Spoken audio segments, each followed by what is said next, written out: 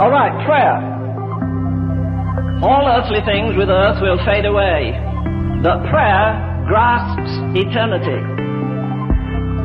But I'm convinced of this God does not hear prayer, He hears desperate prayer. Prayer is not a position on your knees. Prayer is not a position, it's a disposition. You get to the place where you'd rather sweat, you'd rather weep in His presence than laugh in anybody else's presence. You'd rather God whisper a secret into your heart that breaks you than somebody give you the prizes that all the world covets. Prayer is almost the greatest human privilege that we have.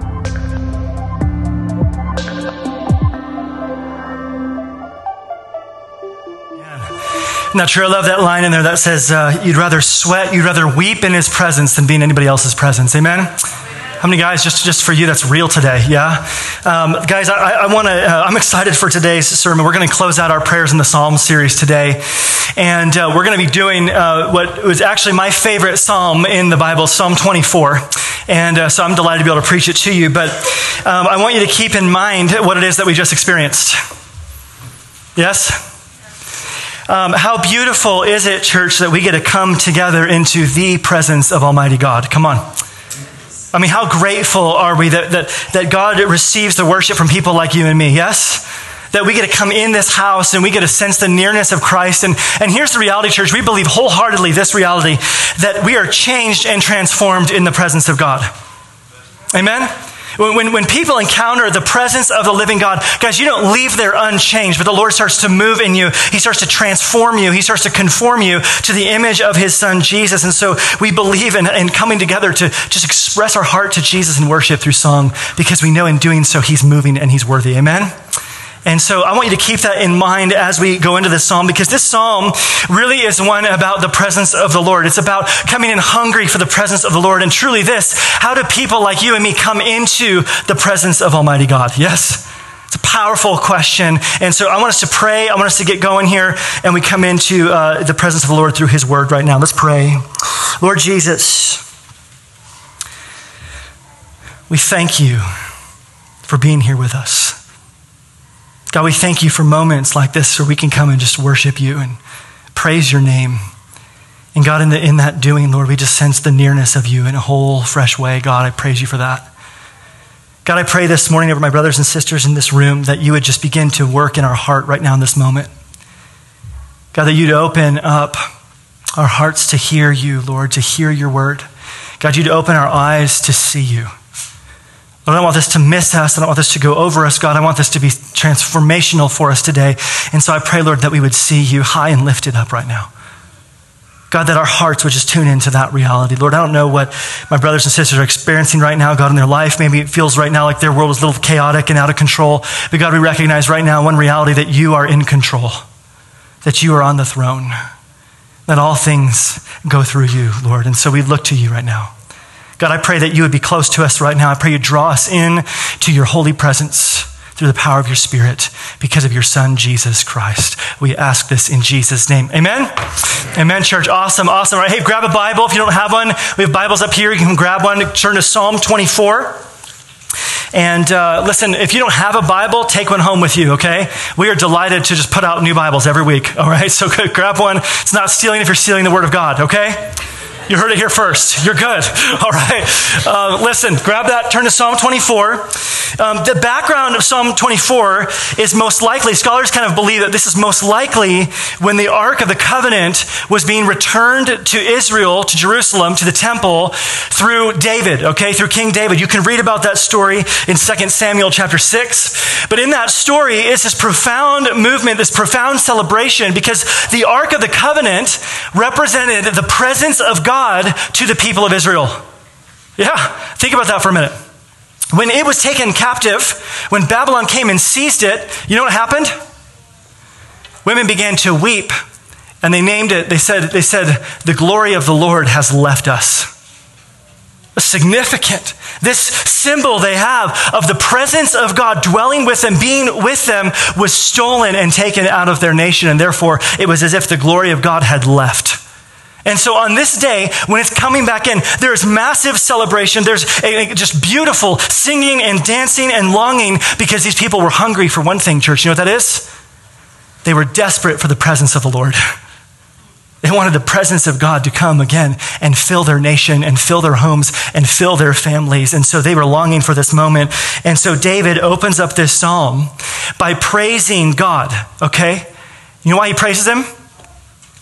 Because of his sovereignty over all created things. Look at this, it's beautiful. Verses 1 and 2 says this The earth is the Lord's and the fullness thereof the world and those who dwell therein, for he has founded it upon the seas and established it upon the rivers. Isn't that beautiful? I love the way that NET puts it like this. It's verse 1. The Lord, listen to me, owns the earth. Say that with me. The Lord owns the earth and all it contains, the world and all who live in it. For he has set its foundation upon the seas and established it upon the ocean current. Church, the Lord owns the earth. Amen? Listen, how many guys own homes here today? Yeah, you don't own a home here today, okay? that ground that you have underneath your foundation, that ain't your ground, all right? It belongs to the Lord. He owns everything. It's his possession. It belongs to him. And so the house you live in belongs to who? The street you drive on. That's right. It belongs to the Lord. But not only that, not only your things, look what it says. He doesn't just own the earth, he owns all it contains. And listen, all who what? Live in it. It's not just that God owns the ground that you walk on or the streets you drive on, church. He owns the car you drive. He owns the you that you are. Come on. All created things. And here's why because God created it. Amen? Look what it says right here in this text, verse 2. For he set the foundation upon the seas and establish it upon ocean currents. That word in the Hebrew for foundation is a creational word. It's hearkening back to God creating the heavens and the earth. It says that God created it. He set the foundation of the earth, of the world, and everything he made. God created it. Therefore, he's the right owner of it. Yes? Of you guys have ever created something before in your life? None of you. You made something, come on, out of creation. Yes? Trick question. I got you guys today. It's easy. Listen, we make something and it's ours inherently, is it not? You patent something that you design, that you develop. It belongs to you. God created, therefore, everything in creation is His. But what's made even clearer about creation in this text is what He says about the seas, because He says that He's set the foundation upon the seas and established it upon ocean currents. Some of you read that. How many guys recognize that the ground you walk on is not actually set on top of the ocean. Yeah? What's that mean then? Look with me, Genesis chapter 1. In the beginning, God what? Created. That's foundation, the heavens and the earth. Verse 2. The earth was without form and void. And listen to this. And darkness was over the face of what? Of the deep. And the Spirit of God was hovering over the face of waters, you hear that? You've got the face of the deep and the face of the waters. God created out of chaos, out of the mess of what was going on, out of the wickedness running rampant, God created order and beauty and wholeness, didn't He? Listen, church, this has two meanings for you today. The Hebrew people associated the ocean, the seas, with wickedness and chaos. Do you know that? You know, waves? You guys, how many of you guys have watched the ocean before? Yes? How many of you guys have watched the ocean during a storm? Kind of terrifying, is it not?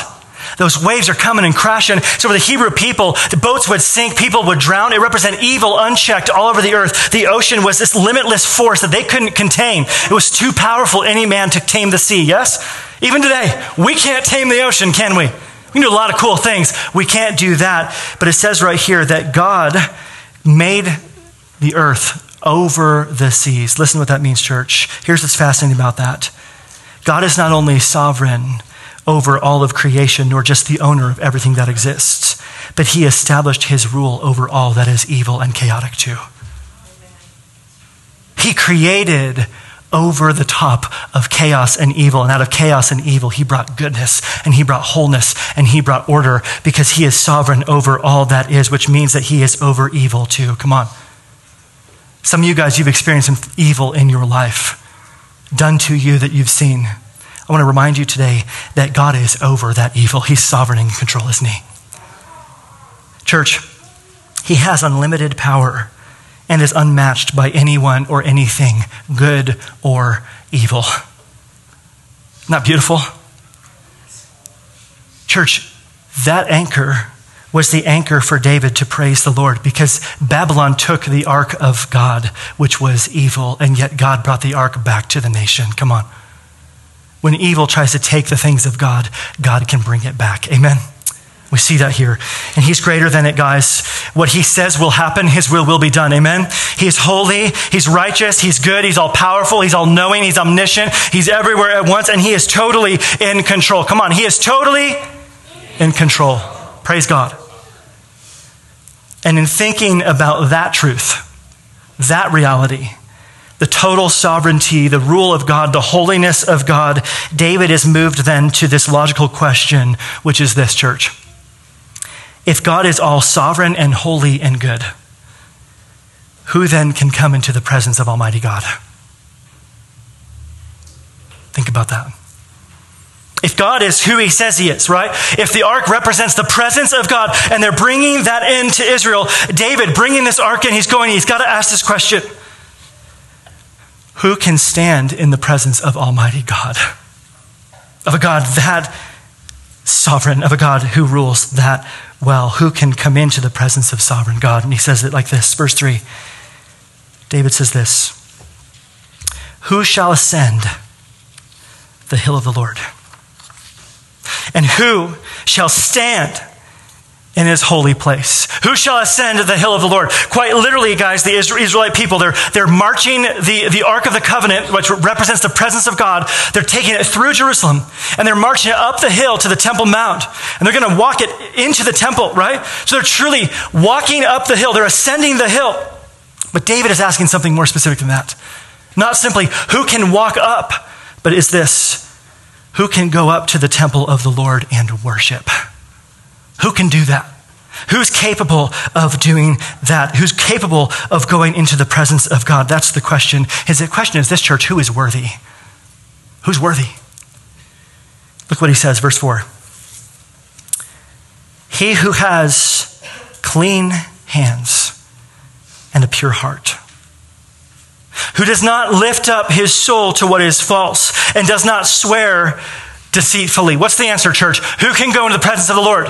We could sum it up like this only those who are righteous. Who can come up? The righteous church. Listen, what do he say there? He says, You got to have clean hands. What's clean hands mean? You washed your hands before you came in? How many guys actually did that, though, today for real? We want to know. Okay, good. Okay, not many of you. This is, this is dicey. Um, Clean hands, right? What is this? This is an idiom. This is a, this is a metaphor for talking about your actions, right? That, that you're someone who actually lives in holiness, that you do right things with what you do. What you put your hand to, it's upright. It's not sinful. You're not, you're not doing wickedness with your hands, with your actions, right? You have purity in your actions. They're clean before God. How many guys can say, that's me today? All right. Pure heart. Pure hearts. What's this? You drank some kind of fluid and, and, did a nice cleanse, that kind of thing? Is that what it is? What is this? It means that you have a right attitude and will, yeah? That your desire, your motivation for serving the Lord is actually right. That your actions, not just your actions, this is what the Pharisees got wrong, guys. They had clean hands, but they had wicked hearts. They did the right things, but they were wicked in their heart. They did it for themselves. They did it out of evil intentions. God is saying, no, to come into his presence, you got to have a pure heart, one that longs to see the Lord, one that is pure in his desire for the Lord. It's not for you, it's for him. Clean hands, pure hearts. And it says, who does not lift up his soul to what is false. Church, they don't worship idols. There's no other that sits on the throne in your life. It's God and God alone, and you worship him alone. Yes? And then this who does not swear deceitfully. Now, when we hear that, we often think that has to do with lying, and certainly don't go out there and start swearing deceitfully, okay? But if you know the context of what this is talking about, if you look at other Psalms and how this phrase is used, what's fascinating is that it's not talking about simply lying. Church is talking about covering up our sins. It's talking about the ones who look like they are the part but actually aren't The ones who look like they've got hands clean and a pure heart, who look like they don't bow down to another idol, but truly are hiding that because they still are. They're not false with who they are. They're not false with what they're for and what they're into. Guys, they're honest about that with the Lord. They're not covering up their sins, they're not hiding from the Lord. David's saying the one who can come into the presence of the Lord are those whose actions are right, whose motive is pure, who worships God alone and does not cover up their sins, but actually is righteous. That's who gets to come in. Isn't that amazing? How are we doing? Sounds incredible, right? Like life goals. If that verse could describe me, yes. Isn't that how you guys desire to live? Not how we want to be, right? Clean hands, pure hearts, worship God alone. I'm true to who I am. I'm actually actually this way that in, in public that I am in private. Yes. Here's the question that we must deal with, church. Does that mean I can only come into the presence of God if I have a totally clean and pure heart? That verse. Church, if that were true, then we could never worship and we could never be saved. And yet, those who come into the presence of the Lord must have clean hands and pure hearts, church. How can we, as sinners in need of a Savior, come into the presence of Almighty, sovereign God? That's our question today, church. And I would submit to you that we need a category for sinful blamelessness. you with me? We need to see this the way God sees this. Psalm 32 uh, is another psalm of David, just a few pages over, where David paints this picture. He says in verse 11, it'll be on your screens for you Be glad in the Lord and rejoice. Who? Who should rejoice? Who should be glad? Who? Oh, righteous, right? Shout for joy, all you who are upright in heart. Yes, that's who David's talking about. Why? Shout for joy. Have, have, have peace in the Lord. Rejoice, right? Be glad because you are righteous. How did they become righteous? How? Look at what happens here.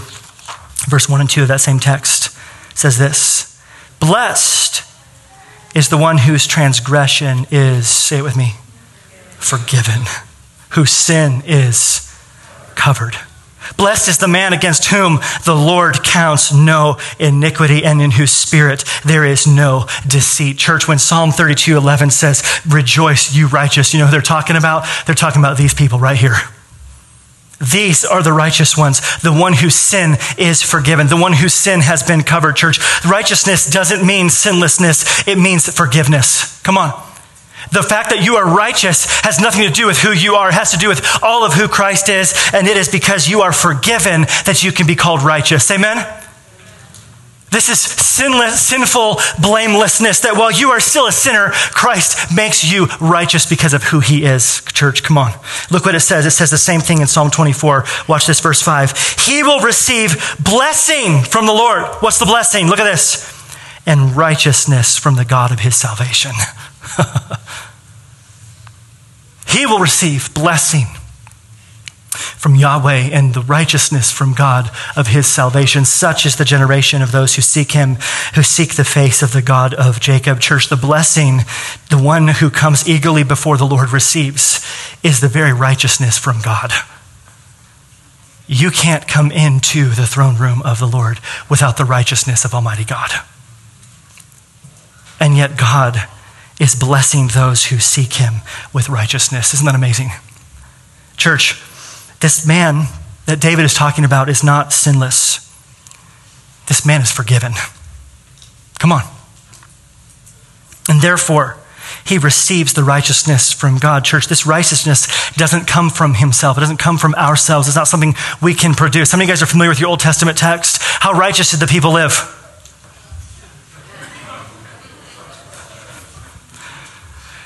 How about David, though? He was pretty righteous, right? He's the one who wrote this. He's got in the bag, right? He can tell you, you got to be righteous to come for the Lord, right? Come on. How'd he do? David was righteous not because of his deeds, not because his hands were clean, not because his heart was pure. Let me tell you, David had dirty hands, so dirty, in fact, God said, You can't build the temple of God. But David was righteous because he believed in the Lord, and the Lord forgave him of his sins. Come on. Church, The people who get blessed with righteousness from God are the ones who come in with repentance for their sin. They come in broken. They say, Lord, I don't want to be this way. I don't want to come into your house with this sin, what I did last night. I don't want to come in with the way I treated my wife this week. I don't want to come into your house this way. I need the righteousness of God to cleanse me so that I can come in before my holy maker. Come on. It's broken spirit before the Lord. It's the one who confesses their sin, then comes in to the presence of God. And God says, guess what? That person, that brother, that sister, they've got clean hands. They've got a pure heart.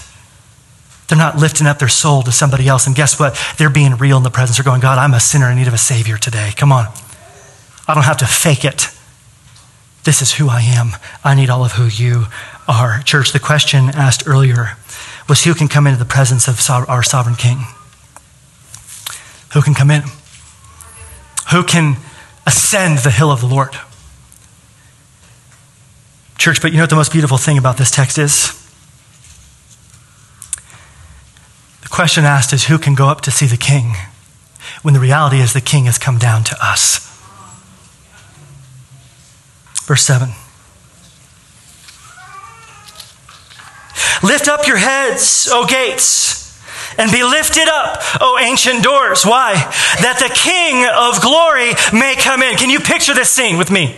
They're calling the ark, they're opening the gates to the temple, and he says, Lift up your heads. They're personified, aren't they?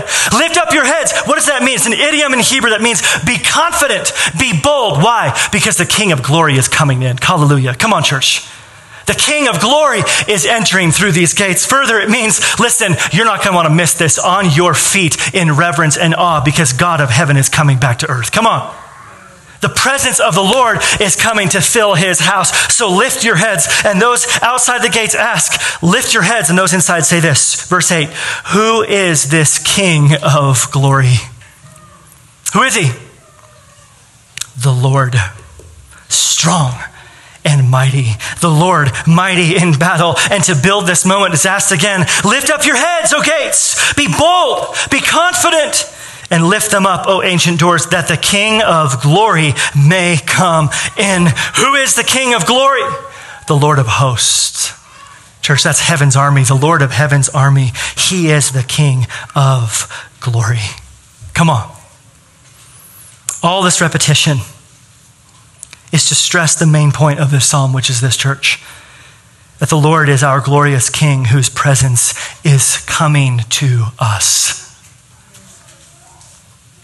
Church, you can almost just picture the celebration going on. This is the scene, by the way, where David dances and he's undignified because God is coming back. The presence of the Lord, the symbol of the presence of God, is coming back to their nation and they're just elated. They're shouting and they're singing and they're dancing, they're playing instruments. It's beautiful. And guys, it was only a symbol. it's a symbol. Church, all of that was a shadow of things yet to come. The ark was the symbol that represented the presence of living God. But there was so much more, church, because the king was coming. The actual king of heaven, his real, tangible presence of God was on its way, church. The presence of God took on flesh, became a child, grew to be a man, and came to dwell with his people. Come on. Jesus was coming into the world. Church, the question remains for us who can ascend the hill of the Lord? Who can stand in his holy place? Church, it's only the righteous, yes? Church, you and I are made righteous because there was one who did ascend the hill of the Lord. There was one who did live a righteous life, in whose soul there was no deceit, truly, who had clean hands and a pure heart, a heart that was zealous for his Father. His name is Jesus. And let me tell you today, church, he ascended the hill of the Lord, a hill called Calvary.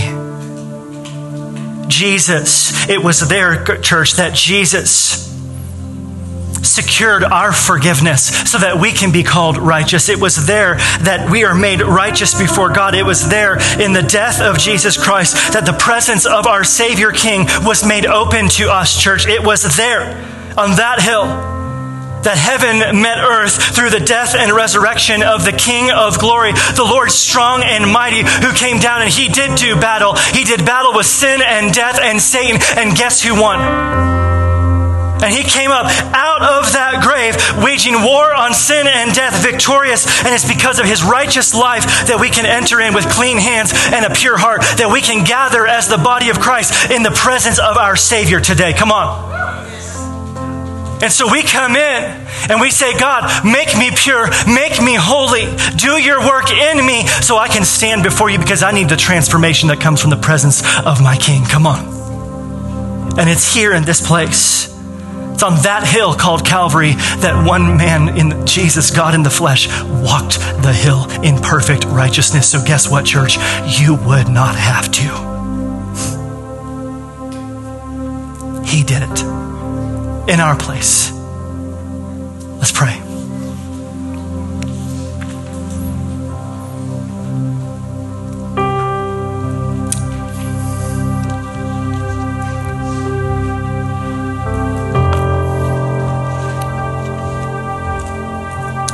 Jesus, we thank you that you came to earth as the very presence of God. You came. The ark was lost again. The representation of the presence of God was lost again because your people fell back into sin. And so, Jesus, you came to do what only you could do. We couldn't make it. God, we can't clean ourselves up enough. We can't purify our own hearts. We need the King of Kings. Lord, we thank you for that. Church, as you're praying here this moment, and to ask you a couple of questions.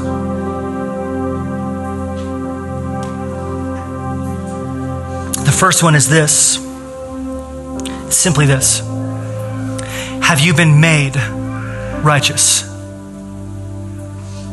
Have you been made righteous? See, remember the one called righteous in Psalm 32 is the one who confessed their sins to God. It's the one who's been forgiven. That's the one who's made righteous, church. So, my question to you is this Have you been forgiven? Have you confessed your sins to Almighty God, the sovereign King of the universe, the one who rules over everything, including you? Have you bowed your knee to the King of Kings? said, I'm not Lord over my life. God, you're Lord over my life. You're my creator. You're my sustainer. You're the one who can make me righteous. Have you put your faith and trust in Jesus Christ and therefore become forgiven? Have you done that? Because if you have, you're now counted among the righteous. You're the one who's commanded now be glad and rejoice because your sin is forgiven. That's my first question. Have you been made righteous? If you don't know, I want you to come talk to me after this service. I want you to get that right with the Lord and to put your faith in Jesus Christ to become righteous and forgiven through Him so you can come in and experience all that He has for you. Come into your right place in creation under Him, under the King of Kings. And now, for you who are believers, here's my question to you Are you living in that righteousness? Do, do you have clean hands and a pure heart? Have you confessed any sin that has been dragging you down to Jesus? Have you given that to Him today? Say, Lord, I can't live like this. I know this. Have you asked Him to purify your heart so that nothing stands in the way of you worshiping in His presence? Have you done that? Are you coming into His presence clean? God, I pray over my brothers and sisters in this room right now that we'd be coming into your house clean because we're forgiven, God. Where we've started to wander again, we pray the Spirit of God would draw us back in, that we would repent, we confess, and we'd say, God, we're here, we're your vessels. Would you transform us into the image of your Son? Are you living in that righteousness? I want to give you a couple moments just to think and pray through that right now with the Lord. And then we're going to sing a song about the presence of God as we close today. Just pray to Him right now. Do some soul searching with Jesus. Ask Him in.